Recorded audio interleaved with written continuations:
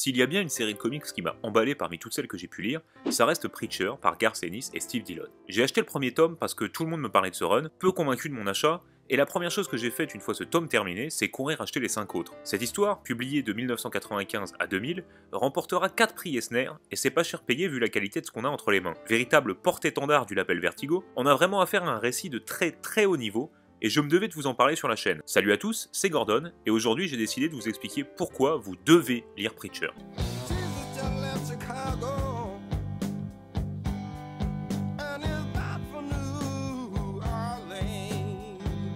Pour commencer, histoire que vous compreniez de quoi on parle, laissez-moi vous résumer rapidement cette histoire. Jesse Custer, révérend d'une petite bourgade du Texas, se retrouve possédé par une entité nommée Genesis, fruit de l'amour interdit entre un ange et un démon. Cela va lui donner le pouvoir de la voix, non rien à voir avec Secret Story, calme-toi Jean-Kévin, qui lui permet de se faire obéir par quiconque. Il va donc partir à la poursuite de Dieu afin d'obtenir des réponses à ses questions, et il sera assisté dans sa quête par Tulip, son ex-petite amie, et Cassidy, un vampire irlandais. Bon déjà ce simple résumé est badass à souhait, mais évidemment, ça va vite devenir bien plus complexe au fur et à mesure que l'histoire va avancer, entre chasseurs de primes, relations familiales et organisations secrètes qui feraient passer Da Vinci Code pour une histoire de petit ours brun. Mais tout ça, je vous laisserai le découvrir par vous-même.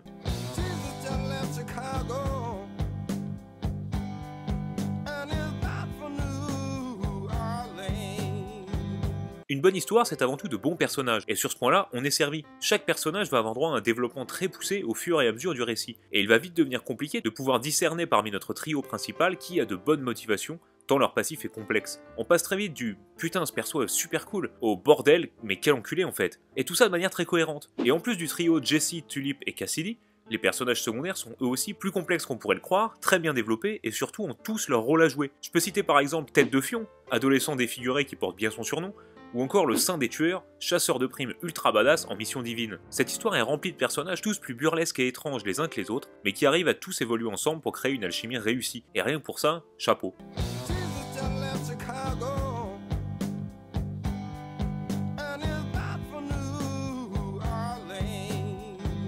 C'est aussi un point très important dans ce run, le rythme. À aucun moment on a le temps de s'ennuyer. Quasiment chaque fin de chapitre se termine en cliffhanger, si bien qu'on est quasi obligé de vouloir lire le chapitre suivant. Preacher, on sait quand on commence, mais jamais quand on finit. Quand je vous disais en intro que j'avais tout acheté d'un coup, c'est justement à cause du rythme. J'ai été tenu en haleine tout au long du récit, et je ne pouvais pas m'arrêter sans connaître le dénouement final. Donc avertissement si vous vous lancez, prévoyez le budget.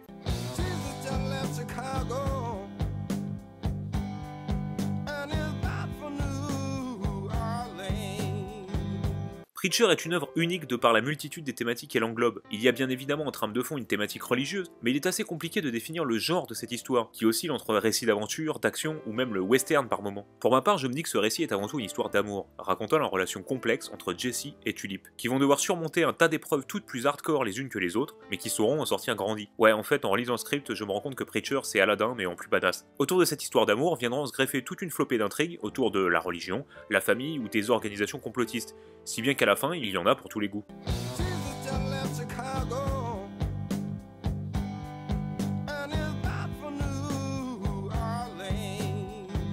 Impossible de parler de Preacher sans parler du duo créatif œuvrant derrière cette œuvre, Garcenis et Steve Dillon. Garcenis déjà, s'il est vraiment besoin de le présenter, est un Irlandais. Déjà ça donne une idée de la personnalité du bonhomme, dont le style pourrait se résumer à humour noir et blasphème. On lui doit notamment un putain de run sur Hellblazer, mais aussi sur le Punisher. Véritable punk dans l'âme, toutes ses œuvres transpirent l'irrespect et Preacher n'échappe pas à la règle. D'ailleurs, si vous avez aimé Preacher, je ne peux que vous conseiller de lire Just Pilgrim sorti peu de temps après, par Garcenis qui raconte les aventures d'un pèlerin ultra badass dans un monde post-apocalyptique dans le style de Mad Max. Si vous avez trouvé Preacher irrévérencieux, passez votre chemin parce que là, Garth met encore la barre un cran au-dessus. Au dessin, on retrouve Steve Dillon, habitué à travailler avec Ennis sur Hellblazer ou encore Preacher justement. Ouais, si vous l'avez pas compris, ça aussi vous devez le lire. Dillon est un de mes dessinateurs favoris et je vois mal qui aurait pu le remplacer sur Preacher. Il décédera prématurément en 2016 d'une crise d'appendicite. Ouais, même sa mort elle est punk.